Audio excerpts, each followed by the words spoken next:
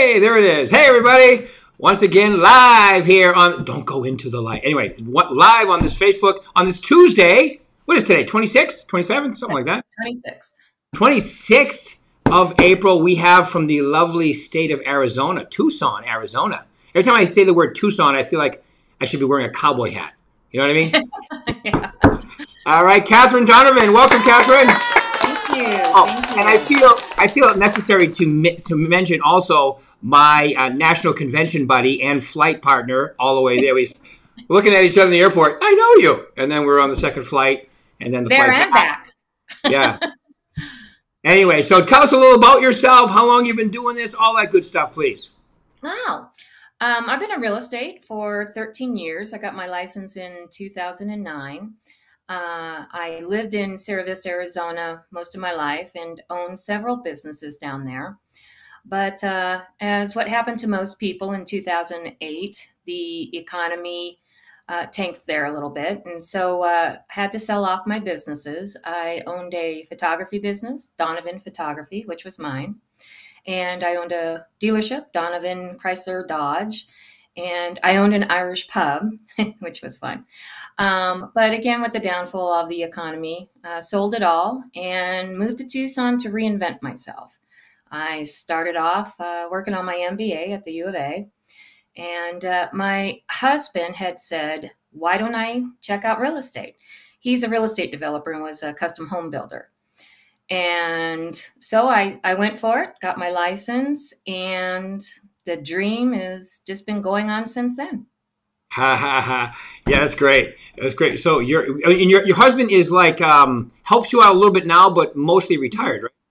Yes, he's retiring in June, and that's what's so exciting about this upcoming year is uh, he's going to be working with me, um, Ah, ah. being being my assistant. But don't tell him. Yes. Hopefully, he's not watching. yeah, no.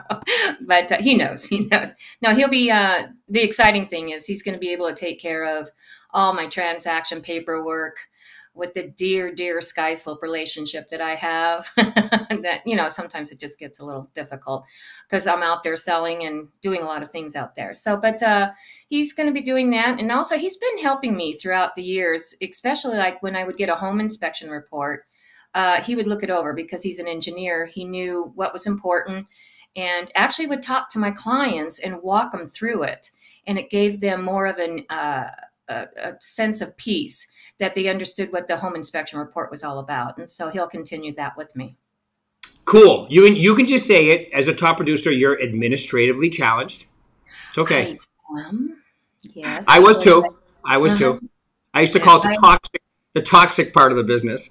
Oh, it's not so much that. It's just I'm just I'm like this. I want to go, go, go. I want more buyers, more sellers. I, I want I'm more good with my clients than paperwork, but that's okay. Right. And we're going to assume that your husband is a civil engineer. Civil. He is a civil engineer, so he knows how to cross the T's, dot the I's, and uh, so I won't have any email saying I had something wrong with something with my paperwork. right. And, and I was jokingly meaning civil meaning nice. He's civil. yes, yes, yes. The civil engineers, they, they are, uh, yes, he's socially uh, wonderful with people. Yes. That's great. And an engineer. Wow, that's a great combination. Yes, yes. And as a matter of fact, he's really helped me out. Um, when when somebody has a new home build, um, there's so many phases to the new home build that he actually would go to the home sites and look over the construction and make sure the electrical was correct, the plumbing, what, um, and he would uh, look at the elevation. And so that was that's been a big advantage with my business. Nice. Awesome. Love it. All right. So give us a little idea. Like, okay, so last year, what'd you do and how you did it and all that good stuff, please. I know you have your notes. She's she's peeking at her notes. no, actually, they're right there. Oh, okay. Um, I did 20 million last year um, Right. by myself. Um, it was a lot of work, uh, but I enjoy. I, I enjoyed every bit of it. Um, this year is going to be different. Um, I just got my luxury certification, so I have a brand new marketing program. That um, since again I have my husband to back me up, um, I'm going to be marketing more towards luxury and also uh, more service orientated um, which has been my prime positive uh, resource with, with my clients. And let me explain to you what that is. Yes. You know, a lot of agents, they just they go into a listing appointment and the first thing they do is they go through their booklet, they they they're not listening to their audience. They're they're not reading the room. The mm. first, I let the clients talk. And the first thing is um, we we don't know how to fix up our home. We know that we need the eaves painted. We know that we need to do the floors. Being service orientated, it's like they're already going through a huge transition. Mm. And it's very scary for them. And uh, the one thing that I do is I take care of it for them. Um, that when we walk through the house, I write my list, and it's like I will be calling my people, and they will be calling you with estimates. I'll just take care of it from here. Um, nice. It, it is. It's so important that with real estate agents, it's not just about getting that listing signed up. It's about what is their main concern. Right. And if their main concern is that 1964 Chrysler car that was their grandfather's in the in the garage and they have no idea how to move it because they lost the key, be resourceful. That it's mm. like that's okay. I'm going to call somebody. They'll come out here, make a key, and um, here's a list of service carriers that can uh, move the vehicle back up to Flagstaff, and it's done. This mm. is what I feel buyers and sellers need. They need an answer to their problems. And so you have to be resourceful. Right. I agree 100%. And if they're motivated, they want you uh, at some extent to take over and help them. And because, you know, the reason a lot of buyers and sellers take over today is because the agents don't, you know, and they're so they exactly. don't. Exactly. Exactly. And uh, don't let the buyers like, um, I, I've seen this quite often. Like if a problem comes up, don't react to their problem think about how you're going to resolve the problem. Give them an answer. Don't go, oh, yeah, I don't know. I don't know what we're going to do. Think outside the box and think of how you can assist them. Absolutely. You take the bull by the horns. That's that's a two-song. Yeah. yeah. Oh, yeah. Anyway, so all right. all right. So 20 million, just so they have an idea, about how many transactions is that last year? Oh, I had about 40, around 40, 38 to 40. 40 and also, I cover Tucson, Sonoita, and Sierra Vista, and Green Valley, Sahuarita. So I I care um, I cover a, a, huge area of southern Arizona. It's not just Tucson. You do, yeah, it's great. I just yeah, I'm glad you brought that up. I wanted to hear that. So basically, the basic numbers are your average sale price is right around right around half a million. Correct. Mm-hmm. Yeah. Okay. Cool. I love it. Okay, so that's your customer service, and I really enjoy that and so forth. And give an idea, like, did you do a lot of business from your sphere, repeat and referral business? Are you out oh, there? You know what? That's interesting because this past year was a lot of past clients that I had. Um, it's in, interesting that you, after being in the business for so many years, that all of a sudden, when you start, uh, when they start looking at selling their home or coming back to Tucson after they sold their home because of a job. Um, it, it's interesting how it's coming full circle that they're coming back and then contacting me. Mm-hmm. Yeah, and they love you because their house has gone up so much in value. You know, it's like it's nice when you're the representative of the market when it's awesome, but then when it goes down and they need somebody to short sale it, uh, you know, sometimes not so happy. interesting. Um, a lot of the clients that I had, about three three clients this past year, I sold their home in Tucson. They had to move away for a job and they found out they can work remote and they wanted to come back to Tucson. Wow. Yeah. And so this wasn't from past buyers, it was from past listings. Nice. And I was like, that gave me a, a, a different perspective that I need to stay in touch with those people, not just the buyers that are in Tucson. And yeah. So it's, it's, yeah, it's a it's a whole different light. Mm-hmm. Yeah, yeah. You know, it's funny. I saw. It's funny you say that because I saw an article yesterday, um, and it said that um, you know the market is probably I don't know about in Tucson, but it, all our markets combined, we're probably about five or six percent off of last year's pace, right? Mm-hmm. Yeah. So, uh, and uh, then the article said that's basically because all the pandemic moves are out of the system right now. I mean, meaning that they're if you're going to move because of the pandemic, like you, like yours, I can I can work remotely now. I'm moving back, or I want a bigger house and have a casita for my bit, my office because I can work on. So a lot of that move is now over. So now we're just back to a normal market. And I think with the, you know, inventory being so tight, it's still going to keep appreciating, even with the interest rates going up, right? I mean, I haven't even heard anybody mention the interest rates, and they basically the largest jump in the industry. Mm-hmm. Well, we've had the largest interest jump. We've had the largest, you know, what do they call that? Inflation. We've had oh, yeah, gas. Gas is gone. All right, we're not going to get into many, Yeah, how many things are we breaking records on? It's like let's start. Yeah. Yeah, it's, exactly. It's just but, a different world. Unfortunately, some of them aren't good records. yeah, yeah, that's true. But uh, and you know, with listings, um, that's my uh, that's my forte is listings. Um, I take yeah. care of buyers, um, but I really enjoy listings. Um, I've just tapped into more of that market. Yeah, and it sounds like your husband's going to take over some administration and help for you, but it sounds like he'll be working with a few buyers too, right? Oh yes, as a matter of fact, um, I have a lot of buyers. Um, in the past six months, I've actually had more buyers than listings, which is uh, interesting to me. But again, it comes back from my client base. Mm-hmm. So, are you going to give him like he's going to retire? So, we're going to give him like the weekend off and then get right back at it, or you might give him a week? Oh yeah, I haven't decided. All we right. haven't wrote our contract yet. right, he's analytical. Put everything in writing. Yeah. Oh yeah, mm-hmm. timelines. Always timelines. Got to have timelines. Got to have a time block schedule with timelines. Absolutely. All right. So my favorite questions to ask a rock star like yourself is: Okay, so you know, if you could do this all over again, or even from here, what would be the mm-hmm. three? You know, I'm a real estate agent and I want to increase my business. What are the three most important things you tell them to focus on? Number one thing is to build your CRM immediately when you start this business. So you don't get behind that you're um it's that you make it a habit and a routine to keep in touch. And uh, when I first got into real estate, I did the Buffini system, and I I really uh, I, I liked his system because it was reaching out to and touching people, not just making phone calls and things like that. Um, the one thing I learned is to give uh, to give somebody something of value, and so for instance, when I write note cards, and I that's one thing I learned from Buffini's note cards. Um, I, I put a little scratch off lottery ticket in there um, just because it's fun. So they're not just opening up a card and reading something.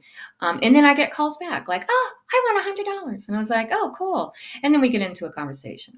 Um, and then also I like to do stop buys um, that I, I go on stop buys about court, um, quarterly. Nice. And so I have a list of my clients that I just give a call and just tell them, hey, I'm going to be in the neighborhood and I had something for you. Can I drop it off? And if they're not going to be home, I'll just drop it off at the front door and let them know. Um, but I find this really works because I'm reaching out to them and stopping by. Right. And uh, just like a seminar I took um, at the convention, I want to be their forever agent. Right. And um, being that forever agent, that means answering their phone calls if yeah. there's a problem with their home. And uh, I just had a situation home warranties. I sometimes problems come up with home warranties. Thank goodness I I have a personal relationship with a rep that does my home warranty, and she was able to uh, take care of a problem immediately.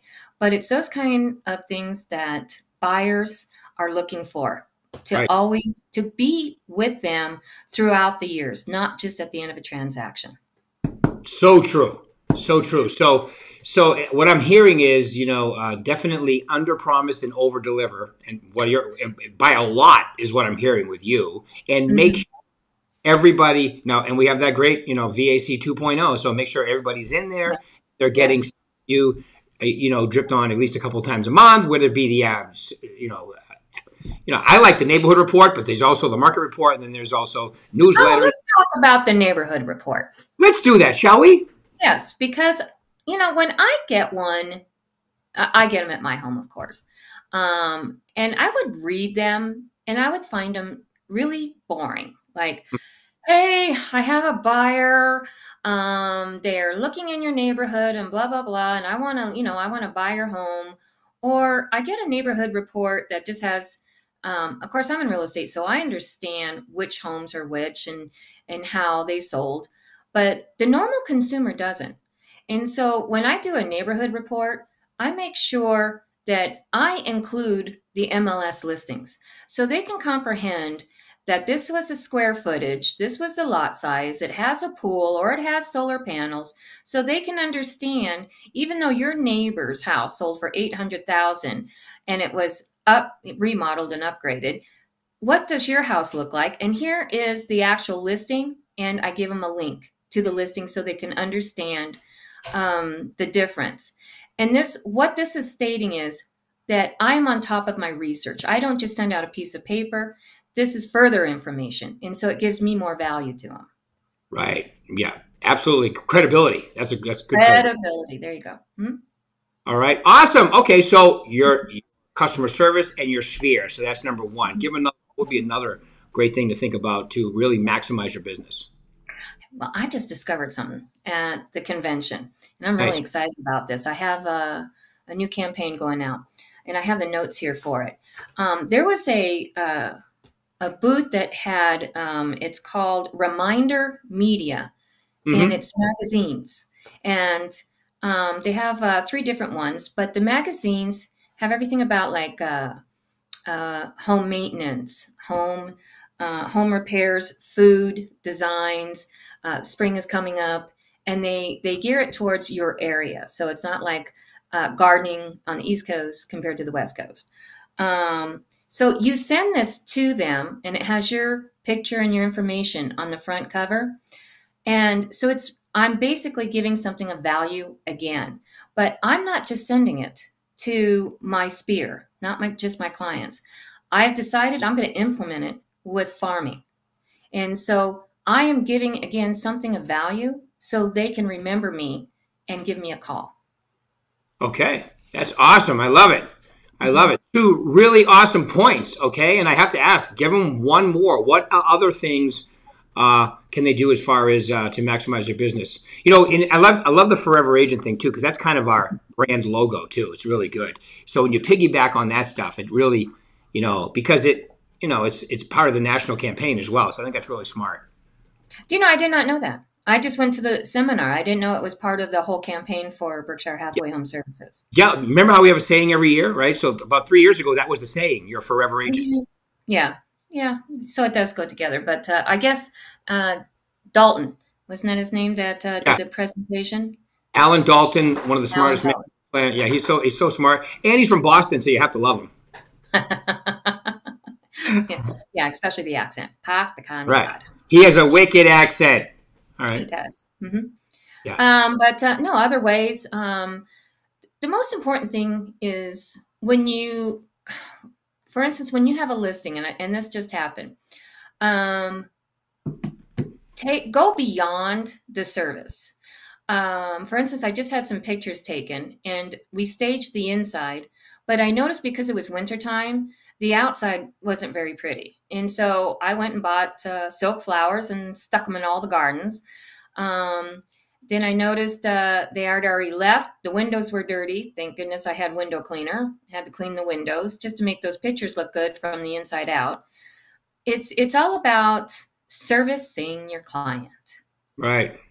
Servicing them and so they can get top dollar and get the most money out of their property and brutal right. And you know, it was so interesting um, when I did this, the lady had said, "Oh, do you do this for all your listings?" And it's like, "Yes, I do."